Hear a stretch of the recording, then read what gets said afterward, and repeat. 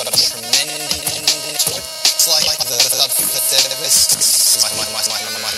my wizardry under their fingertips that out and got the uh, pitch wheel modulation where once it's smooth create a universe of sounds with it like the modulation those modulations little control here to destinations modulation you've got you've sort of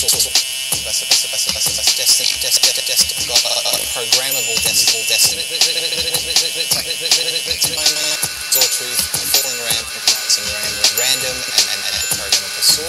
These LFOs can, can go down into audio territory. Uh, they can also sync to the classic clock. We've also got a, got a, got a, got a, got a button, here.